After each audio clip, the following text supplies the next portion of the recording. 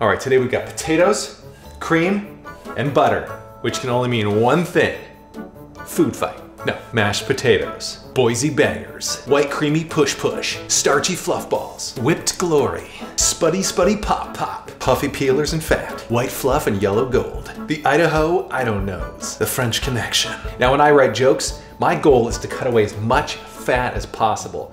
But when I make mashed potatoes, my goal is the exact opposite. I wanna get as much fat in here as I possibly can. It tastes super good. But here's the deal.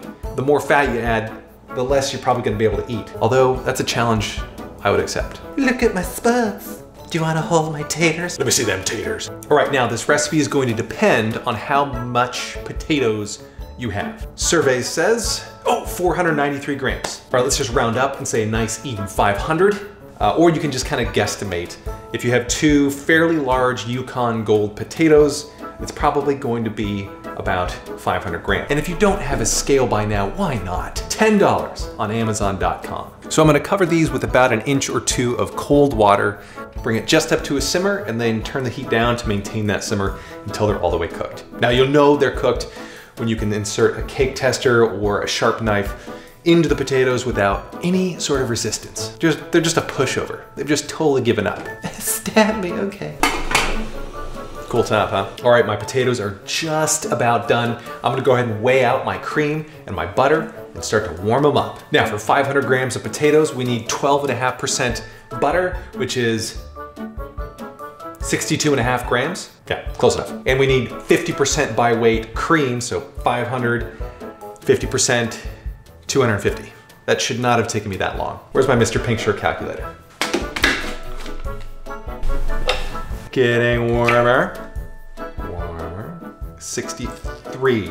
That's about right. What did I say, 62 and a half? Nailed it. All right, what did I say, 250 grams? Oh, let's get the chef's eye cam for this. 250. Oh, I don't think we're gonna, we might have enough. Are we gonna have enough? Oh yeah, a little more. Bloop. All right, I just nuked this for a minute just to take the chill off of it. It's not quite hot cream, which I'm not even comfortable saying. It's kind of like a warm cream, like a tepid cream, lukewarm. Dip your toe in, kind of a, a comfort cream. All right, let's give these taters a test. Why does everything sound weird? All right, things are gonna move pretty quickly when these potatoes are done.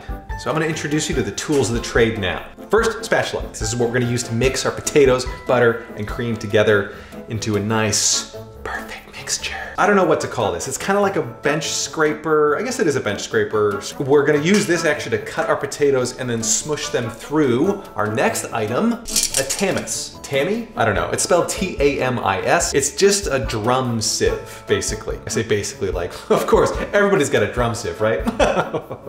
this is gonna change your mashed potato game for the better forever. You will never not make mashed potatoes without this. Does that, you will always use this to make mashed potatoes going forward. A food mill, it doesn't totally suck. It's good if you want chunky mashed potatoes, like if you want chunks in there. And I don't, I don't like chunks. I like when it's all perfectly smooth, beaten down into like almost a puree, but not, it's not gonna, it's not like baby food. Although it is kind of a good baby food. That's, that's a lucky baby getting this for food. But the tamis just creates a nice refined texture and it also catches all of the potato peels. You can actually see, I don't know if you can see it, but there are some potato peels still stuck in here from the last time.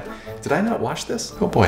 I think I bought this at Sur La Table, Sur La Table. I think it was maybe 20 bucks. This is one kitchen tool I highly recommend. I think everybody should have one, if for no other reason than for these mashed potatoes. But even if you don't love mashed, why would you watch this if you don't love mashed potatoes, by the way? You can use this for foie gras. You can push it through to collect all the stuff and leave all the veins behind. You can push salmon through this and make like a fine salmon mousse. Basically anything that you wanna create a creamy mousse-like texture out of and, and catch any sort of impurities, you can push through this sieve. All right, I'm gonna get our workstation set up. And to do that, I'm just gonna dump the butter in here. You go in, you go in. Come on, every. All right, let's get our station fully set up. It's armed and operational. That's it. Butter in the bowl, tamis on top. Tammy, I don't know, is it French? Would somebody tell me? I'm gonna call it a tamis. Uh. I feel like I should say Tammy, but it sounds like a name. I don't know. I just don't know. Let's just get, oh, salt. We're gonna need salt too. What am I thinking? All right, let's see if these bad boys are done. That's pretty good. All right, I think we're good to go. All right, so for this part, we're gonna wanna work fairly quickly, just because we wanna process the potatoes through the tammy, tamis, while they're still pretty warm. But they're also really hot right now, so it's okay to let them sit for a few moments up here and let them kind of dry out a little bit. But you'll notice when, they, when I first dropped them out here, it was pretty dark on the skins. See, there we go. There's still a little bit of moisture there. That'll evaporate pretty quickly, because these are pretty hot.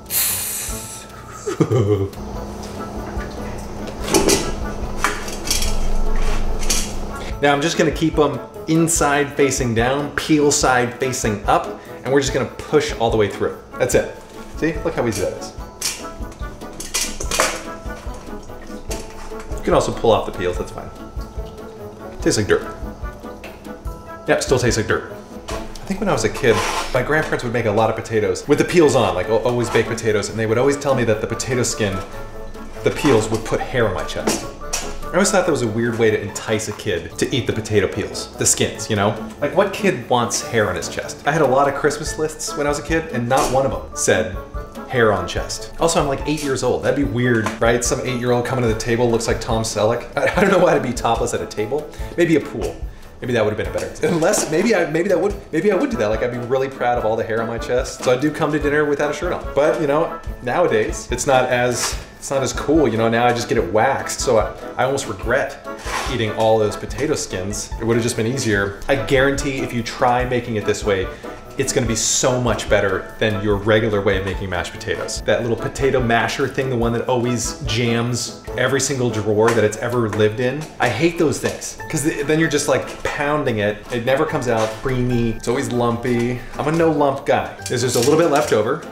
So we just scoop it up like this. Look at that, can you see? Look at that. It almost looks like a, a sea creature, right? Like some sort of sponge or something. I'm going to eat you. Okay, now let's work quickly.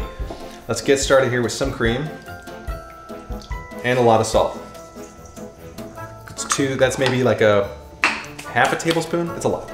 But this is a lot of potatoes, so we're gonna need it. Let's get the chef's eye cam. This is not gonna work, but it's, it's moving around way too much. But you can see how creamy it is already. Now it looks weird, I know, but trust me, the more we whip it around, the better it'll be. Now don't worry when you add all that cream in.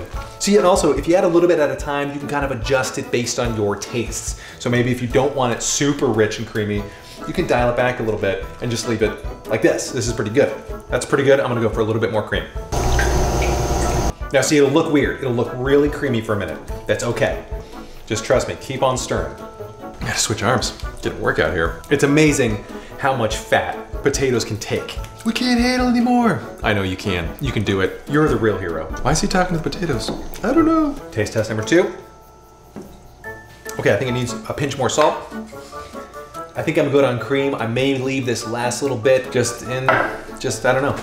I'm gonna dump it. Sometimes you start saying a sentence and then you don't know where it's gonna end. That was one of those. Also, the nice thing about these potatoes, there's so much fat in there that they reheat so well. Perfect for Thanksgiving. And then you can warm them just in a pan over medium low heat, maybe low heat. Now this is a good amount of fat if you wanna taste the Yukon Gold potatoes, which I think taste amazing. If you wanted to add more butter, you could do that. I probably wouldn't add too much more cream, just because then it gets really creamy and it starts to get a little bit looser. It probably still tastes pretty good, but I actually like the flavor of really good butter in here. That's why I used Kerrygold Irish butter. There we go, mashed potatoes. Perfect, mashed potato. Oh my God, those are so good. Thanks so much for watching. Washing? What were you washing? Thanks so much for watching. That's all for me. If you like this video, please feel free to like and subscribe. If you didn't like it, try watching it again. Maybe, I think there's a subscribe thing up here, and like uh, there's there's things here and here. I think one one of them, or maybe it's here and here. I don't know. I never know how to end those things. Thank you so much for watching. I appreciate it. Washing again, Anthony. Good lord. All right, we're just gonna quit it. Chug this cream.